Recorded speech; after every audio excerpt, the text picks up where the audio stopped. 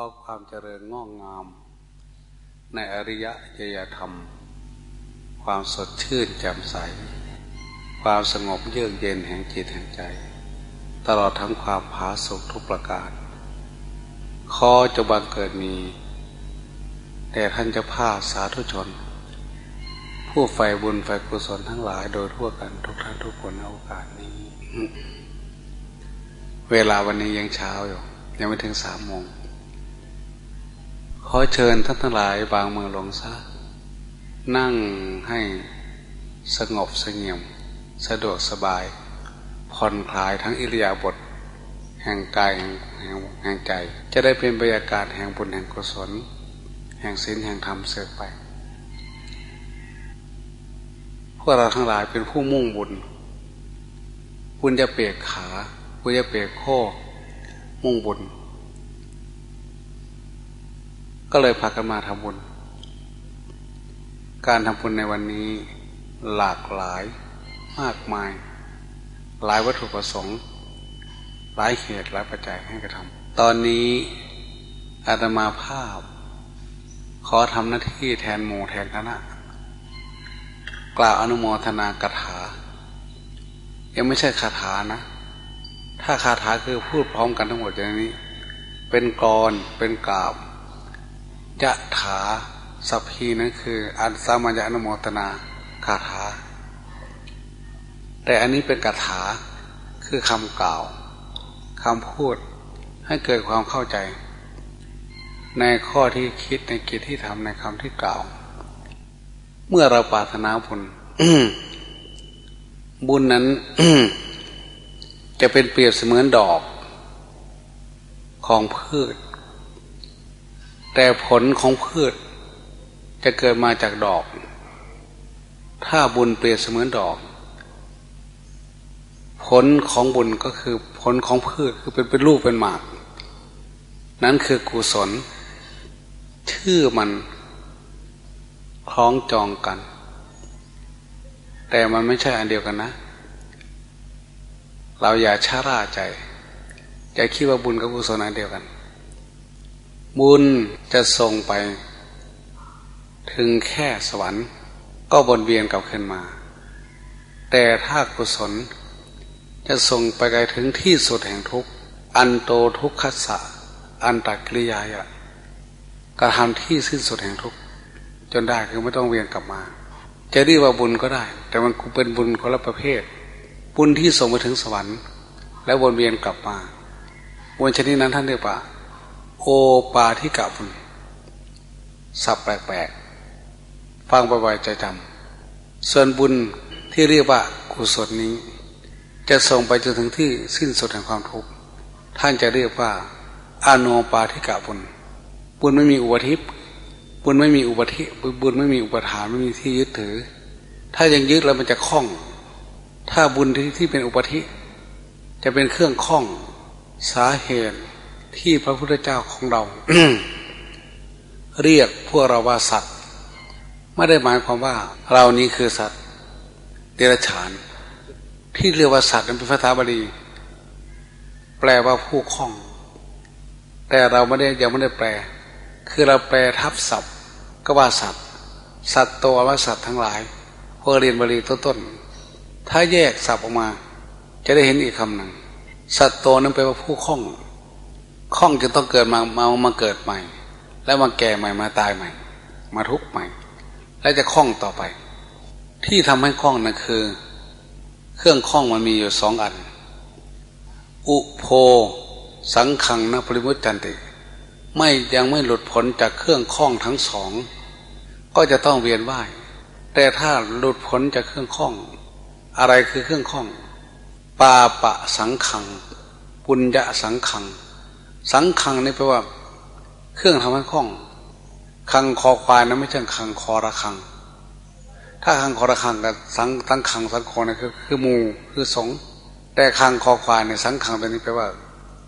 เครื่องทำให้คล่อง อุปธิอุปทาน ความว่าแบบยึดถือยึดมั่นถือมั่น ก็เลยทำให้จิตใจประคองอยู่ตรงนั้น ก็เลยต้องมาเกิดใหม่ ถ้าคล่องบาป ก็เกิดในภพในภูมิที่มันต่ำ ถ้าคล้องบุญก็จะสูงขึ้นไปถึงสวรรค์ สูงสุดปริมิตาสวัตติสูงไปถึงพรมโลก ก็ต้องวนเวียนมาอย่างเก่า แต่บุญที่ไม่คล้องที่เรียกว่ากุศล นั้นคืออโนปาทิกะบุญ บุญไม่ใช่เครื่องคล้อง ไม่ใช่ให้เกิดความยึดถือ เรามาทำบุญ ต้องการพัฒนาบุญ ลสภาพบุญนี้ให้เป็นกุศล ก็เหมือนอยากจะให้ดอกมันเป็นหมากเป็นลูก ก็เลยต้องมีอุปกรณ์เครื่องผสมผสาน ให้ดอกนี้เป็นหมากเป็นลูก อะไรคือเครื่องผสมผสาน การฟังการพูด พัฒนาสติปัญญา ถ้าเรียกว่าภาวนา ปัญญาภาวนา พัฒนาปัญญา อันเกิดจากการฟัง อันนี้ จะเป็นตัวกุศลละจะพัฒนาให้บุญเป็นกุศล วันนี้เราเห็นพระสงฆ์ของเรามีหมู่มาก มองไปไหนขีเหลืองละลานตา ถ้ามีความรู้สึกดีงามเรื่องใสขึ้นมา นั้นคือ ความดีงอกงามขึ้นมาในใจ ความดีนั่นแหละที่เรียกว่าบุญ เนื้อนาบุญก็คือทำให้เกิดความรู้สึก ดีงามงอดงอกงามเงยขึ้นมาในจิตในใจ เมื่อความรู้สึกที่ดี ๆ เกิดขึ้น มันจะคิดดีจะพูดดีจะทำดี นั่นคือทำบุญผู้เป็นบุญแล้วจะได้ผลเกิดขึ้นมาอยากให้ดอกไม้ เป็นลูกเป็นหมากไม่ให้มันร่วงหล่นเปล่าๆชาวสวนต้องเลี้ยงพึ่งมิฉะนั้นหารังพึ่งมาเกาะโยพึ่งนั้นจะบิน ไปเขาคึงดอมดงดอกไม้ ดูเอาน้ำหวานพอมันบินไป ไปหาดอกใหม่ มันจะมีเกสรตัวผู้ตัวเมีย ติดเท้ามันไป เพราะความเหนียวของน้ำหวาน แล้วไปผสมอีกกับดอกใหม่แล้วจะจะติดลูกติดหมากจะไม่ร่วงไม่หล่นนี่วิชาเกษตรทุกวันนึงบุญก็เหมือนกัน ถ้าทำบุญแล้วฉลาดขึ้นฉลาดขึ้นจะกลายเป็นกุศล ราะกุศลนั้นแปลว่าฉลาด คนโบราณภาคอีสานพูดคำหนึ่งไพเราะไพเราะ แล้วก็น่าคิด ถ้าปากดีๆ น่าจะมาพูดมันปันกันฟัง แต่ปากมันมันพูดไม่ถูก ภาษาลาว เจ้าคุมาล่าสอยไพ่พน้อมในป่าข่อยเอ้ย บานเหือแห่งย่ามแรงย่าลงได้ได้นอพูดนาเอ็นดูนาเอ็นดูเมื่อว่า ไปเห็นดอกไม้อยู่ในป่าหน้าแรงกำลังเบ่งบาน ก็ก็ก็อุทานออกมาว่า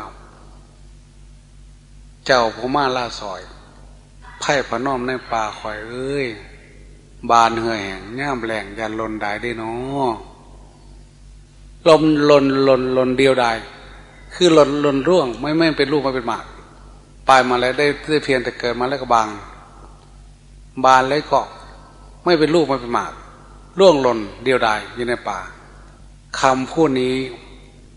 สอถึงจิตใจคนที่มีศรัทธา ตอนนี้ไฟตกเสียงไปเลย ใช่ไหมพลิกลงไปเลยเสียง เสียงหายไป มันก็เลยไม่ไหวเสียง ไปบอกทางอย่าเชื่อม เลิกซะก่อน ตอนนี้เราใช้ไฟของการไฟฟ้า กลางคืนที่เราใช้เป็นไฟของเรา เอาเครื่องระเป่าปั่นเองจะเพียงค่าน้ำมันเครื่องเครื่องปั่นไฟนี้หมดไปแล้วหมื่นห้าตั้งแต่เริ่มงานมาสองวันนี้ ถ้าลองคิดดูงานนี้ไม่ใช่งานที่เกิดมาได้ง่ายๆนะเพราะกลางวันเราดับเราใช้เครื่องเครื่องของการไฟฟ้าอันนี้ไฟปลายสาย เขาใช้ที่อื่นหน่อยมาถึงถึงที่นี่ก็เหลือน้อยก็ไม่พอคำพูดที่กล่าวมาสอให้เห็นว่าคนเรา ผู้มีศรัทธา เหมือนดอกไม้ที่เบ่งบาน ขาดการสดับตับฟังศรัทธานั้นจะค่อยๆร่วงหล่นเจือจางเหิดหายไป ก็ไม่ให้เกิดความฉลาดคือเป็นรูปเป็นมาก ถ้าได้ยินได้ฟังศรัทธานี้จะกลายเป็นร่องไหลของปัญญาถ้าเรียกว่าศรัทธามูลกาสมาธิิบาลีว่าอย่างนี้ศรัทธามูลกาสัมมาทิฏฐิ คือศรัทธาให้เป็นราก มูลเป็นว่าราก เป็นรากเงาให้เกิด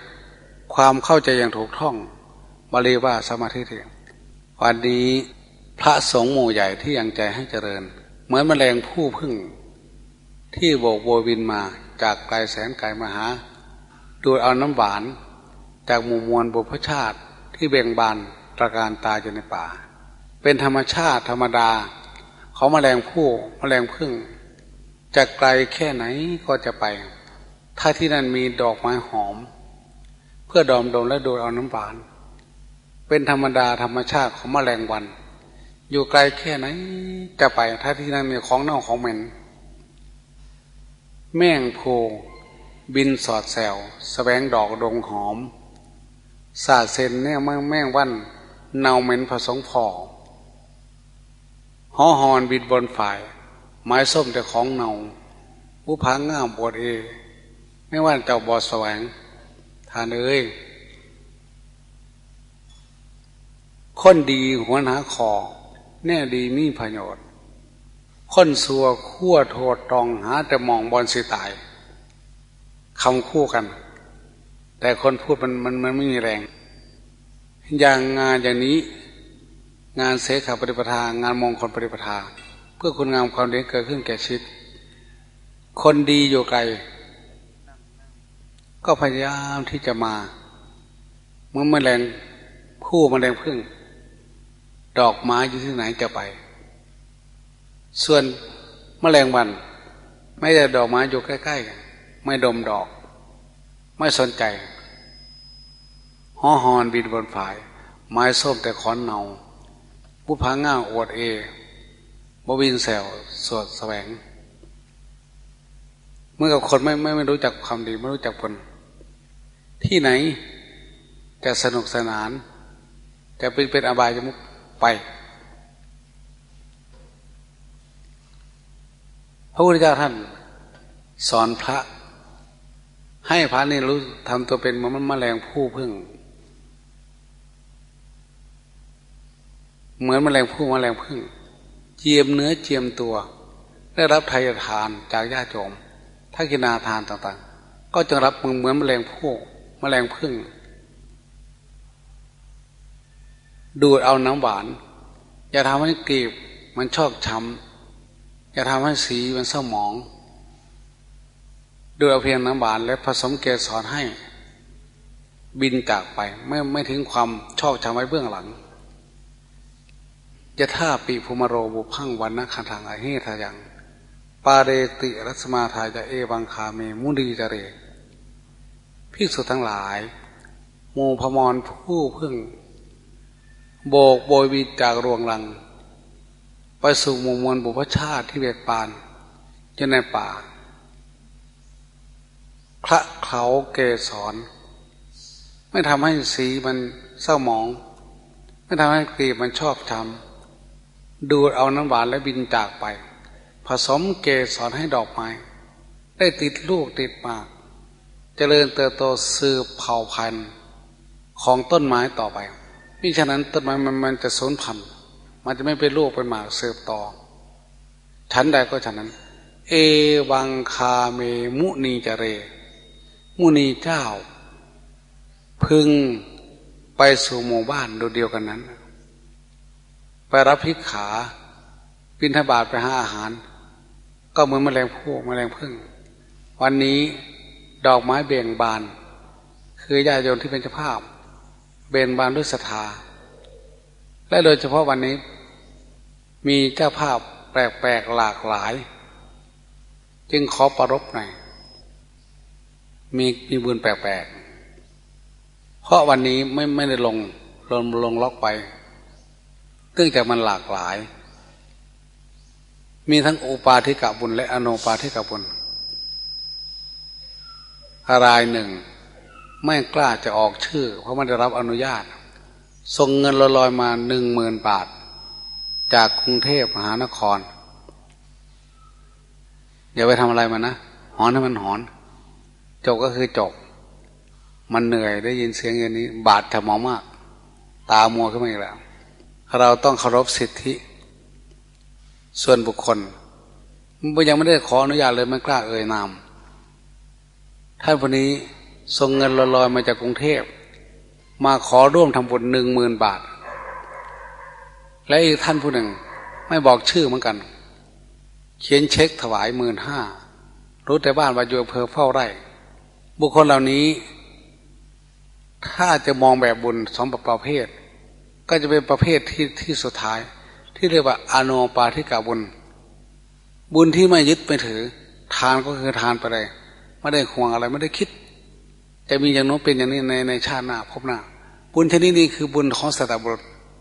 ของอริยชน ไม่ได้ฟังอะไรจากการกระทำเช่นนั้น แต่วันอย่างเดิมเพื่อชำระจิตใจ ให้ผ่อนคลายจากความยึดถือ เพื่อจะเป็นอนุปากาที่กาบุญ บุญที่ไม่เวียนว่ายต่อมาอีก ก็มีบุญอุทิศ รายนี้มาจากกรมนครพนม เรนูนคร อันนี้ก็น่าน่าอนุโมทนา พระสงฆ์อันนี้ท่านมีชื่อว่า พระพิสุทธสุรพลคันติโก วัดโพสีบ้านเหิบ เหิบคำนี้เป็นคำคำลาวแท้ๆ เป็น original language ของที่มันมันมันไม่ไม่แนบสนิทไม่ชิดสนิทกัน ก็เรียกว่ามันเหิบมันเงื่อง หินเหิบก็หินเงื่องเงื่องขึ้น ไม่ใช่เงินคือหมด ขึ้นฝ่ายหนึ่งกระดกขึ้น อันนี้ไม่แปลว่าหินเหิบเลือดดินเหิบเพราะว่าป้านเหิบ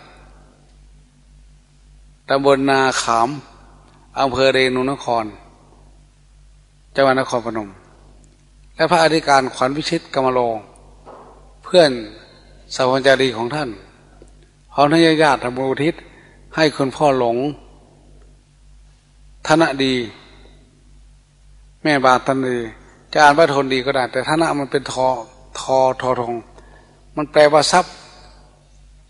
ธนะตัวนี้แปลว่าทรัพย์ อย่างธนาคารอันนี้เขียนทอทงอันนี้มันทอทงนอนก็จะจะเรียกว่าทนดีก็ก็ไม่ผิด แต่ไม่ชัดเจนเท่ากับธนะดี ถ้าจะให้ชัดเจนธนะคำดี เป็นลาวแท้ ทรัพย์สินทองคำดีทั้งนั้นบื้อไปจากคนนี้แต่นี่เป็นชื่อของนามสกุลลายนี้อุทิศส่วนกุศลให้บิดามารดาผู้ล่วงลับไป สาธุวานโมทนา และมีอีกรายหนึ่ง อันนี้ก็บุญแปลกๆละทำบุญใช้นี่ นี่คือสัตบุรุษ เป็นหนี้เขา เขาตายไปก่อน นี่คือคนรับผิดชอบ จริยธรรมที่ฝังอยู่ในสายเลือดรู้จักรับทั้งผิดทั้งชอบ ไม่ใช่ รับแต่ชอบผิดฉันไม่เอา เจ้าหนี้ตายก่อน ไม่รู้จะไปทำไปใช้หนี้ที่ไหน สุปรโลก ก็เลยนึกขึ้นมาได้ ฉลาดฉลาดนะ เอาเงินที่ที่เป็นหนี้มาเนี่ยมาถวาย ขอขอรอเลี้ยงทำให้แก่โลก มีส่วนร่วม บุญญาภาคีมีส่วนแห่งบุญนี้เป็นเป็นการเพื่องหนี้อุทิศส่วนกุศลให้ ตั้งสองพันบาทนะอุทิศส่วนกุศลให้ เจ้าหนี้ที่ล่วงลับไปมีชื่อว่าจรูนธาตุพนม ในกลุ่มนี้คือกลุ่มธาตุพนม อันนี้ก็น่าคิดสตาบุรุษ มีธรรมอยู่สตาบุรุษธรรมเจ็ดฮิริโอตภะมีความอายชั่วกลัวบาปใครไม่ทวงกันไม่ว่าไม่เป็นไร แต่ฉันจำได้เป็นนี่ต้องใช้กลัวจะค้างคาใจ ภาษาพุทธเจ้าท่านบอกมุนเจปุภกเตอีนัง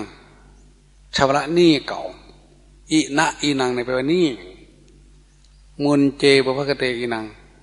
คนเช่นนี้แหละที่พระเจ้าปรารถนาจะให้เกิดเป็นมากในโลก คนที่มีความรับผิดชอบในใจในใจแล้วลองสังเกตดูสินห้านั่นคือความรับผิดชอบ ทางกายทางวาจาทางใจ ในพฤติกรรมตั้งแต่ปานาติปาตา อธินาทาน กาเมเหล่านี้รับผิดชอบทางกาย ทั้งวาจาด้วย ส่วนมุสารับผิดชอบทางวาจา ผิดก็คือผิดชอบก็คือชอบ การมีความอายชั่วกับกลัวบาปเป็นรากเง่าที่ตั้งลงที่งอกงามขึ้น แห่งสินแห่งธรรม ถ้าไม่มีสิ่งเหล่านี้สิ้นธรรมก็เลื่อนหาย เกิดขึ้นมาไม่ได้ ตาคนไม่เห็นก็จบ เจ้าเจ้านี่ตายไปแล้วก็จบ แต่ท่านคนนี้รับผิดชอบคำนี้น่ารักพระเจ้าท่านเคยพูด มุนเจปุพกเตอีนัง เห็นพระสงฆ์โมใหญ่ ผู้ยังใจให้เจริญ ถ้าได้มากินมาทานมาถวาย ช่วย น่าจะเป็นพลัง แห่งบุญที่จะส่งอุทิศส่งกุศลไปให้ถึง ผู้ที่ล่วงลับไปที่เป็นเจ้านี่ ในทางพุทธศาสนาของเราเคยมีเรื่องอย่างนี้ คนที่ยังเป็นๆอยู่ใช้นี่ผู้ที่เป็นเจ้านี่ตายไป ก็มี แล้วคนที่ตาย ใช้นี่คนเป็นๆอยู่ก็จะมี ขอเวลาสักหน่อยหนึ่งคนรับผิดชอบ เป็นที่มาแห่งสินแห่งธรรมที่ที่ดีงาม วันหนึ่ง โกศยเศรษฐี มีนามาก ถ้าเป็นทุกวันนี้น่าจะเป็นหมื่นหมื่นเป็นแสนไร่ทำนาสมัยนั้น ธรรมชาติมาก นอกจาก ผ่านผลจากศัตรูพืชข้าวออกรวง ทองเรืองอารามแล้ว ยังมีอีกศัตรูหนึ่งคือนกมากิน นกมันมากไม่เหมือนทุกวันนี้ ลงทุกไหนหมดทุกนั้น โดยเฉพาะนกแขก มาเป็นฟูงนกกีนกกลางโกชยะเศรษฐี จ้าง คนเฝ้านา เพื่อไล่นก มันนามาก หลายทุ่งหลายคน บังเอิญทุ่งหนึ่งมันอยู่ใกล้ใกล้ป่าต้นงิ้วในป่า มีแต่หมูนกแขก คนที่รับจ้างเฝ้าท้อใจไล่ไม่ไหว ไล่บุมนี้ บินขึ้นไปกินมุมโน้นไปไล่บุญโน้นกลับมากินบุญนี้ แต่ละวันแต่ละวันวิ่งจนเหนื่อยหอบ ไม่หวังไล่ไม่ไม่ไม่พอมาขอบอกคืน นี่ก็คนรับผิดชอบเหมือนกัน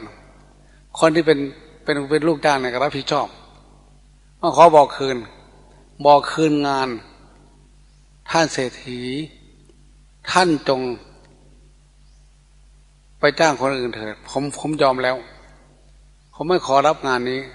เงินเดือนเดือนที่รับไปก็ไม่คุ้มเขาจะขอส่งคืนครึ่งครึ่งหนึ่งเศรษฐีเลยถามว่ามันเกิดอะไรขึ้น ไม่ไหวนกแขก กินข้าว ไล่ตัวนี้ไปลงตัวนู้นไล่ตัวนู้นมาลงตัวนี้ ทั้งวัน มันอยู่ที่ปากนิ้ว เศรษฐีก็บอกว่าอดทนไล่ไปนั่นแหละ มันจะกินมากแค่ไหน กินย่างเก่งก็กินแค่ท้องเล็กๆของมันมันหลายตัว คนรับจ้างบอกว่า มันไม่ใช่อย่างนั้นเสียมันมีนกอับปรีตัวหนึ่งเขาว่าอับปรีไปว่าไม่น่ารัก เป็นตาสังตัวใหญ่กว่าเพื่อนด้วย ไม่ใช่กินธรรมดาคาบเต็มปากเอาลงไป ข้าวลวงลวงข้าวในเต็มปากบินไป แล้วมาใหม่มาคาบอยู่ทั้งวันเลยตัวนี้ ไม่ใช่มันจะกินตัวมันเองไม่รู้มันคาบไปไหน ผมเฝ้าดูมาหลายวันแล้วมาลงตัวนั้นตัวนี้ชิบหายหมด มันกิน แล้วมันคาบหนีเขายังขอบอกคืนโกเซียเศรษฐีบอกว่า ไม่ต้อง เธอจงทำบ่วงทำแล้ว ดักจับมันให้ได้อย่าไปฆ่ามันตายนะอยากจะรู้นักว่ามันเอาไปทำไม แล้วมันเป็นนกยังไง คนฟ้านาบอกว่าตัวโตมากตัวใหญ่มาก ตัวเท่ากับไก่ว่าเรื่องน่าจะเป็นนกแก้วมาคอ ตัวใหญ่ ลูกจ้างก็ใจเบา เบาใจสบายใจว่านายจ้างไม่ซีเรียสกับเรื่องนี้ แต่อยากจะให้จับนกให้ได้ ก็ไปทำบวมทำแรไว้บังเอิญอาจจะเป็นวันสวยของนกตัวนั้น ติดบ่วงพอดีดิ้นกระเดวกระเดวไม่ออก คนคนรับจ้างก็วิ่งไปไปจับพอมาจากบ่วง ค่อยๆทนุถนอมกลัวมันจะตายเพราะเศรษฐีบอกเอาตัวเป็น ก็ไปให้ดูโอ้ยตัวใหญ่มากเศรษฐีบอกว่านกตัวนี้ไม่เคยเห็นนกอย่างนี้ตัวใหญ่มาก สมัยนั้น ว่ากันว่าภาษาคนกับภาษานกพูดกันรู้เรื่อง มันเป็นเรื่องของชาดก สาลิเกทาราชาดก เศรษฐีเลยบอกว่า ไปเฝ้าต่อฟงสูงตัวเล็กๆนะ่ะไล่ไล่ไล่ไล่ง่ายไหมคนรับจ้างบอกว่าไล่ไม่ยาก เพียงแต่ตบปิ๊บไปใกล้มันบินนีเป็นฟุ้งแตกกระเจิง แต่ไอตัวนี้ไม่กลัว ที่ไปใกล้ก็ไม่กลัวคาบเต็มปากแล้วบินนีเศรษฐีก็เลยบอก เจ้านกแขก เรากับเจ้าเป็นเวรเป็นกรรมกับมรรชาติไหนทำไมเจ้าจึงกินอิ่มใส่ใส่ท้องไม่พอต้องคาบนี้คาบทุกวันเจ้าจะทำให้คาบพี่นานจะยับไปอย่างนั้นเฉยและเจ้ามียุงมีฉางเลยเจ้าจึงเอาไปอย่างนั้น ทุกวันทุกวัน นกแขกกับผู้ว่าข้าแต่ท่านเศรษฐีเรานี้ ไม่มียุงไม่มีฉางดอก และเราก็ไม่เคยเป็นเวรเป็นกรรมซึ่งกันและกัน ข้าพเจ้าเองไม่ได้มุ่งที่จะเบียดเบียนท่านให้ให้พินาศด้วยทรัพย์ด้วยข้าเปลือกนี้ แต่ข้าพเจ้าจำเป็นต้องทำอย่างนี้ มีจะเป็นด้วยหรือมีท่านจะเป็นอะไรน้องแขกบอกมาเพราะว่า ในป่ายิงที่พระเจ้าอยู่มีฝูงนก ตั้งมากอย่างเดียวกัน ข้าพเจ้าข้าไปนี้ ไม่ได้เอาไปกินเอง แล้วก็ไม่ได้ไปทอดทิ้งที่ไหน ข้าพเจ้าไปไปไปฝังเป็นขุมทรัพย์หนึ่งข้าพเจ้าฝังเป็นขุมทรัพย์สองข้าพเจ้าไปให้เขากู้หนี้หน่อยเนี่ยลักขโมยไปยังยังเป็นเจ้าหนี้เองเป็นนายทุนหน้าเรื่อยแล้ว เขาบอกไม่ใช่อย่างนั้น ท่านจงฟังต่อ ส่วนหนึ่งข้าพเจ้าเอาไปฝังเป็นขุมทรัพย์เอาไว้ ส่วนหนึ่งข้าพเจ้า เอาไปให้เขากู้ อีกส่วนหนึ่งข้าพเจ้าเอาไปเอาไปใช้หนี้เก่า เราไม่เคยได้ยิน ขอท่านจะบอกให้เราเราทราบว่า อะไรคือท่านเอาไปฝังเป็นขุมทรัพย์ อะไรคือส่วนที่ท่านไปทำบุญ เอาไปเอาไปเอาไปไปไปให้เขากู้และอะไรคือเรื่องที่ท่านบาปเอาไปเพื่องหนี้เก่านกแขกบอกว่า ในป่าต้นยินที่พระเจ้าอยู่มีนกหมู่มาก แก่ชราขนปีขนหางร่วงหล่นบินไปไกลๆไม่ได้มีแต่จะคอยตาย ไม่มีรูปไม่มีหลายดูแลรักษาข้าพเจ้าข้าบไปให้ นกเหล่านั้นกินเอาบุญ เตสังปุญจเทกังกังธรรมิ เตนิทิงกตาปุญจตามันดีธนากล่าวว่าการทำบุญเป็นการฝังคุมทรัพย์แน่เทศซะด้วยนกแขกเพราะนั่นคือการฝังคุมทรัพย์ของข้าข้าข้าไปให้นกแก่ๆนกพิกลพิการเหล่านั้นกิน อีกส่วนที่ข้าเจ้าบอกว่า เอาไปให้เขากู้ ในป่างิ้วในต้นงิ้วมีรังของข้าพเจ้า ลูกเล็กๆของข้าพเจ้ายังตัวเล็กปีไม่กล้าขาไม่แข็งยังบินไปเองไม่ได้ไปหากินเองไม่ได้ข้าพเจ้าต้องข้าไปป้อน ให้เขากู้หนี้นี่ชื่อว่ากู้นี้ส่วนขั้นสุด ช่วงสุดท้าย ข้าพเจ้ามีพ่อมีแม่ แก่แล้วขนดกขนล่วงขนปีกขนหาง ไม่มีบินไปหากินเองไม่ได้ คอยจับชะเง้อมองจับเจ้าอยู่บนยอดไม้ข้าพเจ้าจงคาบข้าเนี่ยไปป้อน แม่และพ่อด้วย นี่คือการใช้นี่ท่านเลี้ยงเรามานานแล้ว จนเจริญเติบโตปัจนี้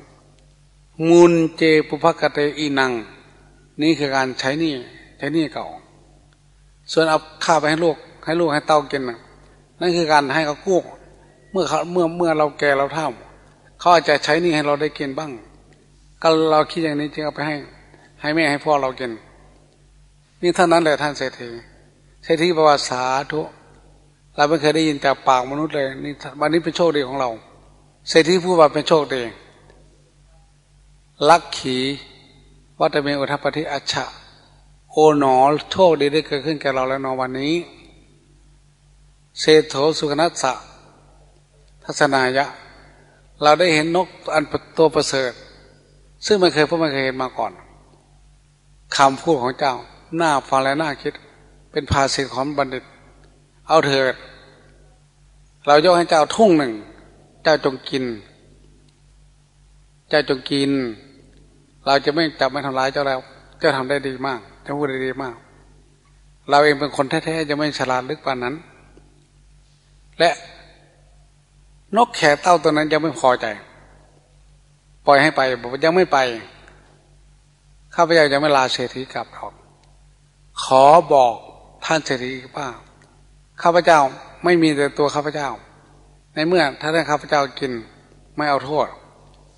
แต่หมูนกหมูอื่นที่เป็นเพื่อนของข้าพเจ้าเขาก็ได้อาศัยข้าพเจ้าเพราะข้าพเจ้าเป็นหัวหน้า ให้เขากินด้วยได้ไหม ได้ถ้าเป็นบริวารของเจ้า พอแล้วนกก็ยกเปียบสองเปียกน้อมเสียอภิวาเศรษฐีถ้าอย่างนั้นผมจะลาไปบอกมงบอกคณะได้รับอนุเคราะห์บุญกุศลจากท่านเศรษฐีเศรษฐีก็ดีใจให้บินกลับไป เพราะบุญคุณงามความดีของนกแขกตัวนั้น บริวารนนกก็ได้อยู่ได้กินสะดวกสบาย และบุญกุศลที่เลี้ยงพ่อเลี้ยงแม่ ที่เป็นการใช้หนี้เก่า ก็คุ้มครอง ให้นกแขกเต้าตัวนั้น ได้อยู่เย็นเป็นสุขตลอดทั้งบิดามารดาของมัน พอพูดจบ พระพุทธเจ้าท่านเล่าให้พระฟังให้ว่าภิกษุทั้งหลาย พวกเธอทั้งหลายคงจะสำสำคัญสงสัยว่านกแขกเต้าชนิดนี้มีอยู่ที่ไหนอีกบ้าง และนกแขกเต้าตัวนี้เป็นอะไรเป็นใครเธออย่าสงสัยเลย เราเองนี่แหละเป็นนกแขกเต้าตัวนั้น อพูดถึงตัวนี้ก็เลยนึกถึงพระภิกษุ ที่ท่านกำลังทำบุญหาให้พ่อให้แม่ท่านอยู่ตรงนี้ ได้ยินว่าพ่อแม่ทั้งสองของท่าน สิ้นชีวิตแล้ว ท่านยังบวชอยู่เป็นพระโยงที่อำเภอเรนนครที่บ้านครับนี้ ท่านคงจะเก็บเล็กผสมน้อย ตามอัตภาพของพระบ้านนอก ถ้าเอาเงินมามามอบถวายอาตมาห้าพันเก้าร้อยห้าพันแปดร้อยบาท ทั้งพี่ทั้งน้องด้วย นี่คือมูลเจปุภกเตอีนังท่าเท เปื้องนี่เก่าคอยคิดถึงมารดาบิดาที่เลี้ยงดูท่านมา วันนี้มารดาบิดาของท่าน ไม่มีชีวิตโจท่านก็ยังต้องเลี้ยงคืนเลี้ยงอะไรเลี้ยงจิตเลี้ยงใจวินเลี้ยงวิญญาณไม่จะมีชีวิตอยู่เลี้ยงกาย ด้วยข้าวน้ำโภชนะอาหาร เมื่อท่านจากโลกนี้ไป จิตใจวิญญาณของท่านยังเวียนว่ายอยู่ ลูกยังอยู่ผู้ประเสริฐจะต้องระลึกถึง โอกาสสุดท้ายคือเลี้ยงดูจิตใจเลี้ยงดูวิญญาณท่าน ด้วยการทำบุญทำบุญอุทิศส่วนกุศลให้ อันนี้ก็น่าอนุโมทนา ส่วนโยมจากท่าพนมทำบุญเปื้องนี่เก่า แก่ผู้ที่ตายตาไว้ก่อน อันนี้ก่อนน่าอนุโมทนาน่าคิดว่ารับผิดชอบจริง ๆ มีจริยธรรมจริง ๆ มีศีลมีธรรมจริง ๆ อย่างนี้ ในสมัยพระเจ้า มีคนคนหนึ่ง เป็นหนี้ตาย ขนาดตายแล้วจะกลับคืนมาใช้หนี่เจ้าหนี่อยู่นะพวกเราเนี่อาจจะมีมีโอกาสได้พบอย่างนั้นบ้าง เมื่อศีลธรรมนี่ยังอยู่ตายไปก็จะมีศีลธรรมอยู่คนที่มีศีลธรรมเศรษฐีในเมืองสาวัตถี มีเพื่อนคนหนึ่ง จากเมืองสาเกตสมสารมา เมียตายแล้วเหลือแต่ลูกสาว พ่อกับลูกสาวมา มาขออาศัยเพื่อนว่าเพื่อนเอ้ยเราสิ้นไรไม้ตอบ แม่ของเด็กก็ตายแล้วเราอยู่ที่นู่นอาพับเฟิดเคืองเรามาขออยู่อาศัยกับเพื่อน ที่เคยรักกันขออยู่อาศัยพอเลี้ยงปากเลี้ยงท้องไปวันๆเพื่อจะให้ทำอะไรก็ได้ พ่อกับลูกสาวเพราะเออเศรษฐีผู้นั้น มีความเมตตาปานีมาก ก็เลยรับไป ในขณะเดียวกัน ชายผู้นั้น เคยเป็นพ่อค้ามาก่อนเจ๊ง เจ๊ง เพราะการกระทำไม่ได้จังหวะ ถูกคดถูกโกงไปก็เลยเจ๊ง เลยมาอยู่กับเพื่อน ก็เลย ถ้าคิดที่จะขอกู้เงินเพื่อน ไปค้าขายซะหน่อย ก็ดูกระไรอยู่สมสารมาสุกหัวนอนมาขออาขออาศัย ก็ได้รับการอนุเคราะห์แล้วยังจะขอกู้อีกจะทำให้เพื่อนไม่สบายใจ ก็เลยแอบไปขอขอกู้เงินคนอื่น ซึ่งดูมีฐานะพอสมควร บ้านไปไกลมากนักจากบ้านของเพื่อนคือเศรษฐีนั้นท่านเอ๋ยท่านผู้เจริญ ข้าพเจ้าอาภัพมาก มาอาศัยอยู่กับเพื่อนเศรษฐีที่นี่ ข้าพเจ้า ขอกู้เงินท่านสักหนึ่งร้อยกหาปณะได้ไหมจะไปลงทุนค้าขาย เพื่อจะผลิตออกผลขึ้นมา ก็พอดีคนนั้นก็เป็นคนใจกว้าง ก็เลยยอมให้ ไม่ได้มีอะไรเป็นสัญญงสัญญาประกันให้ ให้เงินหนึ่งร้อยกหากหาปณะเมื่อท่านค้าขาย ส่วนใดส่วนหนึ่งพอได้คืนแล้วจะมามอบให้ก็ได้นะ มันต้องรีบร้อนไป ชายคนนี้ก็เลยคิดแหมโชคดี เขาช่างดีต่อเราเหลือเกินนะ ก็ได้เงิน ได้เงิน ก็ไปกับหมู่คณะไปค้าขายต่างเมือง สมัยนั้นไม่มีรถจน เอาแต่เกวียน ไปเป็นฟุ้งเรียกว่ากองคาราวานเกวียน ชายผู้นี้เขายืมเกวียนและงวดเศรษฐีที่เป็นเพื่อนบรรทุกสินค้า โดยอาศัยเงินที่กู้มาหนึ่งร้อยกาพนะไปไปซื้อเป็นต้นทุนปลากฏว่าซื้อได้ได้แล้ว ก็บรรทุกเกวียนไปกับหมูหมูพ่อค้าเหมือนกันเกวียนใหญ่ห้าร้อยเล่มเขาไปค้าไปขายต่างเมือง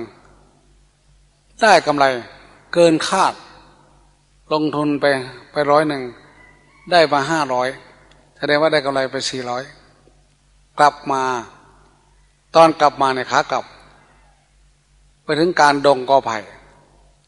มีมีห้วยน้ำไหลดินไม่ขาด จะได้พักพ่อเขารู้จักทางค้าขายเขา พักงัวกินน้ำกินหญ้า เจ้าของก็ได้มีน้ำกินน้ำอาบค้างคืนในกลางดงไผ่บังเอิญมาเอิญพวกโจรชอบมาแอบตักป้อนอยู่ตรงนั้น เพราะเป็นที่พ่อขาวังพันธะและพักเกวียนชายคนนี้รอบคอด เอ มีแต่รอยเกวียนไปหลายหลายหลายหมู่หลายคณะ ถ้าคนวิชาชีพมันรู้มันอาจจะมาดักพ้นนะครับเพื่อนอยากกันนั้นเลย เงินที่เราได้กำไรมาจากทุนนี้เราจะซุกซ่อนไว้ให้ดีแล้วก่อนจะนอน ก็เงินไปซ่อนไว้นู่น ใต้กอไผ่กอใหม่ และตัวเองมานอนอยู่ข้างกอไผ่กอหนึ่งกับเกวียนใกล้ๆกับหมู่กับคณะจริงดังคาดกลางคืนโจรมามาป้นเขาเอาเงิน พ่อค้าเกวียนทั้งหลายยอมจำนวนให้โจจนจนค้นเอาเพราะไม่ได้ไม่ได้ซุกซ่อนก็เลยได้เงินไปทุกคน แต่ของพ่อพ่อค้าคนนี้บอกว่า ไม่มีไม่มีข้าพเจ้ากู้เงินมา ยังไม่ได้ค้าขายอะไรบ้างนักมันมีกองทุนน้อย ไม่เหมือนของของเศรษฐีอื่นที่อาศัยหมู่คณะมาตรงนี้ถ้าไงบอกไม่มี ไม่มีเขาฆ่าพวกที่เพื่อที่ได้เงินเขาเขาก็ไม่ฆ่า แต่พ่อค้าคนนี้ถูกฆ่าตาย เพราะไม่มีเงินให้เขา สัญชาตญาณโจรมันรู้มันต้องซุกซ่อนไว้ไอ้คนนี้ มันหัวแหลมมันซุกซ่อนจะไปหาไหนก็ไม่พบ ก็เลยฆ่า เสร็จแล้วแกก็ตาย ตายแล้วไปไหนคล้องจิตมันไปคล้อง จิตครั้งสุดท้ายอารมณ์สุดท้ายไปคล้องอยู่ที่ทรัพย์ คิดถึงแต่ลูกสาวคนเดียวอยู่กับเศรษฐีใจนั้นจะเป็นเยื่อใยอย่าง อะไรอยู่กับทรัพย์กับลูกสาว ดังที่ท่านว่าท่านังปาเท ทรัพย์เป็นบ่วงล่ามเท้าปุตตังคีเวบุตรเป็นลูกผูกคอสามีภรรยาหัดเถสามีภรรยาเหมือนเชือกผูกมือ คนโบราณอีสานบอกว่า เสือกผูกข้อปอกผูกศอก ปอกซุบตีนผัวเมียลูกเต่าเงินทองเท่านี้ไปใส่บ่ได้ขนาดตายแล้วก็จะมาค้างค้างใจอยู่ที่ทรัพย์ ก็เลยเป็นผีเฝ้าอยู่ในทรัพย์นั้น แต่ในตำนานบอกว่าเปตะโลกคือโลกของคนตาย ยังไม่ได้เป็นเป็นผีอะไร คิดถึงแต่โลกห่วงโลกบังเอิญบังเอิญปีต่อมา พอสิ้นหน้าฝนพ่อค้าเกวียนหมู่ใหม่ก็ผ่านมา ไปค้าค้าขาย พ่อค้าขายกลับก็กลับมาทางเก่า ก็มาจอดพักเกวียนวิญญาณที่เฝ้าเงินอยู่ตรงนั้น ห่วงห่วงเงินแล้วก็ห่วงโลก มากระชิบมาเข้าฝันพ่อเอ้ย ผู้เจริญ ข้างหัวนอนของของท่าน ไปนี้มีกอไผ่ทางขวามือก็เผาไผ่ลำเหลืองๆนะนะ ท่านจะไปขุดเอาเถิดมีเงินอยู่ตรงนั้นห้าร้อยกหาพนะท่านขุดได้แล้ว ท่านจงเอาหนึ่งร้อยกหาปณะ และอีกสามร้อยกหาปณะท่านจงไปให้ ลูกสาวของข้าพเจ้า เป็นเป็นคนใช้อยู่บ้านเศรษฐีเมืองสวัสดีสามร้อยแล้วบอกลูกสาวของข้าพเจ้าด้วยนะว่าสองร้อยสามร้อยที่ฝากไว้ให้ลูกเนี่ยสองร้อยให้ลูก เอาไปซื้อมะม่วงทำบุญให้ข้าพเจ้าข้าพเจ้าอยากกินมะม่วงเหลือเกิน ให้สองร้อยให้ลูก ผีฝาก เอาเงินสองร้อยนี่ไปซื้อมะม่วงร้อยหนึ่งอีกอีกร้อยหนึ่งแล้วแต่ลูกจะใช้เป็นทุน อีกร้อยหนึ่งมันมีสามร้อยให้ลูกไปใช้หนี้ของชายคนนั้น บ้านอยู่ใกล้เศรษฐีเป็นเครื่องบริคนหนึ่งข้าพเจ้ายืนหนี้เข้ามา ดูสินี่จิตของผู้รับผิดชอบ แม้แต่ตายแล้วยังผูกพันรับผิดชอบอยู่มันจิตละเอียดบุกว่ากันคน จิตพระนี่ละเอียด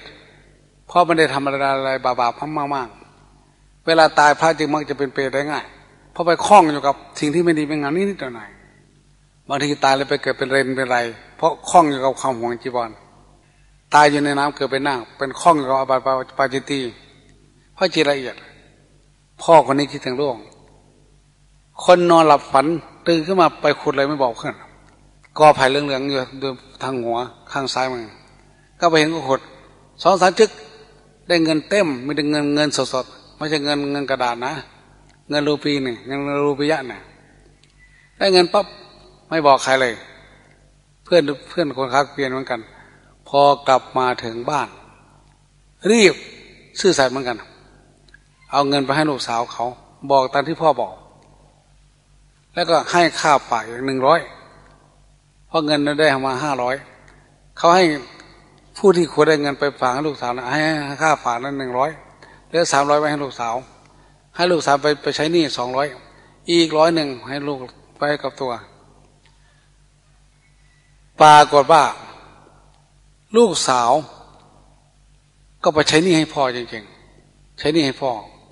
หนี้ใครนี่มาบนไปมาก็คือหนี้เศรษฐีนี่เองเศรษฐีคนนี้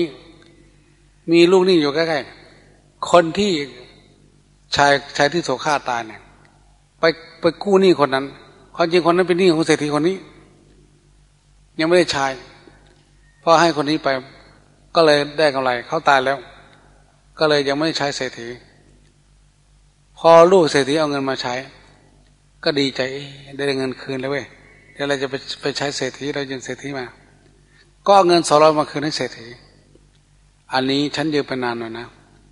มันไม่ได้ไม่ได้ส่งส่งง่ายเพราะอะไร ชายที่อยู่ที่บ้านท่านเศรษฐีนี่แหละไปยืมเงินผมเขาเห็นว่าหน่าน่าสงสารเขาเป็นพ่อไม้เขาอยู่กับลูกสาวลูกสาวเขาอยู่ที่นี่ ที่เขาเอาเงินไปไปคืนให้ให้ผมนะ่ะเขาเลยเอาเขาไปค้าเขาถูกฆ่าตายเลยไม่ได้เงินคืน วันนี้ได้เงินคืนแล้ว ก็จึงขอมันมาส่งท่านในการเขาคืนไป ไม่ได้ไม่ได้กอง และลูกสาวก็มีเงินไปซื้อมะม่วง ไปทำบุญอุทิศส่วนกุศล ให้แก่พ่อบางเอิญผู้ที่ส่วนกุศลแล้ว ก็ไม่ได้ถวายใครถวายพระโมคคัลลานะถ้ามาบิณฑบาตถ้าก็รับ นางนี้ก็บอกว่าอุทิศส่วนกุศลให้แก่บิดาผู้ล่วงรับไป ด้วยมะม่วงพอพบปิดาชอบอย่างนี้พระมหาเดรักเลยให้ผ่อน สิทธมัทโทสิทธมัทโทสิทธมัทโทอิทางพลัง ขอผลอันนี้ อิทางพลังผลอันนี้ สิทธมัทโทจงสำเร็จ สิทธมัทโทจงสำเร็จจงสำเร็จจงสำเร็จ สิทธิกิจัง สิทธิลาโภชโยนิจังเอวังโหตุกิจที่ท่านปรารถนาจะทำจงสำเร็จ สิ่งที่ท่านอยากได้จงได้ด้วยความสำเร็จ และจะมีชัยชนะเนื้ออุปสรรคทุกเมื่อ เทินยิ่งคนนั้นก็อนุโมทนา กลางคืน พระมหาเทระ เห็นเทวดาลอยมาในอากาศพร้อมทั้งสวนมะม่วงมีแต่มะม่วงเป็นหมากห้อยย้อยอยู่ทุกๆกิ่งก้าน ไม่แต่ละลำต้น พระมหาเทระก็เลยถามดูก่อนท่านเทวดา สมบัติของท่าน แปลกประหลาดมากไม่เหมือนไม่เหมือนที่พิมานของเทวดาเองมะม่วงของท่านห้อนย้อย เป็นหมากไปด้วยเป็นดอกไปด้วยสุกไปด้วย มีอยู่ตลอดเวลาอย่างนี้ ท่านได้ทำบุญทำกุศลอะไร จึงเกิดอุทยานทิพย์อย่างนี้ลอยมาในอากาศ หอมตลอดด้วยกลิ่นมะม่วงสุกเทวดาตัวนั้นเลยบอกว่า พระผู้เป็นเจ้าข้าพเจ้าไม่ได้ทำกุศลธรรมใดๆดอกข้าพเจ้าตายไปเป็นคนหัวหิวเป็นเปรตแต่โลกแล้วเล่าเรื่องให้ฟังว่าทั้งหมดนี้ได้มาจากบุญที่ลูกสาวทำบุญอุทิศให้แก่ท่านตอนที่ท่านไปวินทบาท อันนี้เราฟังคนตายก็ยังใช้นี่ คนเป็นได้นะ ถ้าคนตายคนนั้นมีมีมีบุญมีกุศลมีศีลมีธรรมอย่างคนยืมยืมเงินเราไป อาจจะยังคล้องคาใจอยู่อยากจะใช้เราถึงของคุณงามความดีของเรา ที่จะมีต่อเขา อาจจะมาให้เราฝันอยากไปซื้อเลขซื้อหัวตัวนั้นตัวนี้ก็ได้ อาจจะเป็นหนี้ก็ได้นะ วันนี้พูดเรื่องคนเป็นใช้หนี้แก่คนตาย สมควรแก่เวลา อนุโมทนากถาวันนี้ สิทธมัทโทสิทธมัทโทสิทธมัทโทอิทางพลังด้วยผลอันนี้ ผู้ปรารถนาอุทิศให้แก่บิดามารดา ขอจงสำเร็จจงสำเร็จจงสำเร็จ ผู้ปรารถนาอุทิศให้แก่เจ้ากรรมเจ้าเจ้ากรรมนายเวรเจ้าหนี้เจ้าสินขอเจ้าหนี้เจ้าสินนั้นอยู่ในปรภพใดๆก็ตามจะได้รับผลอันนี้และให้ปลดเปื้อนตัวเองออกจากพันธนาการแห่งความทุกข์ ถ้ามีทุกข์อยู่พ้นจากทุกข์ถ้ามีสุขอยู่แล้วจะมีสุขยิ่งขึ้นไป และสุดท้ายบุญกุศลเหล่านี้จึงย้อนกลับมาตอบสนองท่านคุ้มครองท่าน ให้เกิดความเบาใจในการดำเนินชีวิตในโภคทรัพย์ที่มันขาดแคลนขอจงให้มี ตามที่ปรารถนาจากพระพันจะเป็น เหมือนเป็นหนี้อยู่ไม่มีใครเลืมสักทีชั้นใดก็ชั้นนั้น ส่วนท่านผู้เพื่อไม่ประสงค์จะออกนามดังกล่าวมาแล้วสองลาย ท่านผู้หนึ่งอยู่กรุงเทพส่งลอยลอยมา ไม่คงจะไม่ประสงค์ให้ออกนาม เพราะว่าแล้วแต่ท่านจะทำนั่นคือการทำบุญแบบอโนปาทิกะบุญทั้งสองท่านที่มาจากเฝ้าไร่หมื่นห้านั่นก็เป็นอโนกาทิกะบุญไม่ได้ชื่อก็ไม่บอก บุญไม่มีอุปทิศไม่มีอุปทานไม่ยึดถือไม่หวังสิ่งใดแต่เขาจริงคือสิ่งที่ท่านมาบอกนั่นแต่มันได้ ได้อะไรวันตาโสคาเยื่อมาจากโลกคาเยื่อแห่งความ ยึดถือเยื่อทางทางอารมณ์เยื่อทางใจ ท่านเหล่านี้ทำบุญแบบอโนอโนปาทิกบุญขอบุญในดังนี้จงสอนให้ท่านไปสู่ความสิ้นทุกข์โดยชอบ โดยเร็วที่สุดในในในชาตินี้และชาติถัดไปอย่างใกล้เคียงดังกล่าวมาทั้งหมดนี้ ท่านสาธุชนทั้งหลายควรจะฟังพอเข้าใจบ้าง ความเป็นไปแห่งกรรมได้ได้ผลแห่งกรรมเป็นอย่างนี้อัตกรรมวิวัตานะ เราอัฐกรรมวิวัตเตนะ เพราะเห็นแห่งการหมุนเวียนแห่งกรรม กรรมนี้มันสลับซับซ้อนมากนัก ทั้งดีทั้งชั่ว ทั้งมากทั้งน้อยไม่เคยเป็นโมฆะณกรรมุนาอโมฆะมัติกรรมทั้งหมดไม่เคยเป็นโมฆะจะต้องให้ผล แม้ท่านทั้งหลายเอ่ยเองที่นั่งอยู่ในขณะนี้ ฟังในขณะนี้ท่านก็ได้กระทำกัลยาณกรรม ทานท่านก็ได้เคยให้สิ่งก็ยังรักษาอยู่ในขณะนี้ กัลยาณกรรมคือกรรมอดีตงามท่านก็ทำอยู่เป็นประจำอย่างนี้ ไม่สูญหายไปไหน ยังค้างคายังรอคอยท่านอยู่ไม่ช้าก็ไวแล้วแต่ปัจจัย ส่วนประกอบจะเกิดขึ้น เพราะฉะนั้นเขาจงบันเทิงเขาจะอนุโมทนา ในกัลยาณกรรมของท่านทั้งหลาย คือสิ่งที่ดีที่งามที่ท่านทำอยู่ในขณะนี้ สุดท้ายความเจริญงอกงาม ในมนุษย์สมบัติ และสวรรค์สมบัติ ทั้งสามนี้อันเป็นสมบัติของมนุษย์ที่พุทธศาสนามีไว้ให้ จงสำเร็จจงสำเร็จจงสำเร็จแก่ท่านโดยทั้งโดยทั้งทั้งปวงทุกท่านทุกคน โดยทั่วกันเถิด